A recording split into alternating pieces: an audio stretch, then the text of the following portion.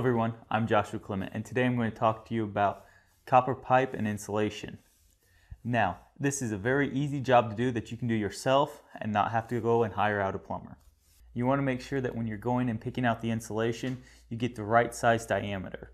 This here is a half inch, which will work perfect for a half inch copper pipe. It also works on CPVC and PEX piping.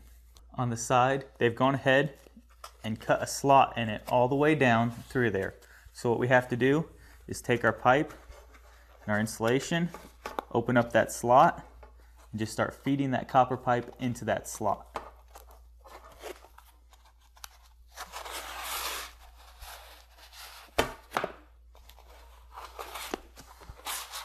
After you have it on there, you can slide it down wherever you want to. If you're going over a joint, something like that, all you have to do is push it right over the joint and that is completely sealed.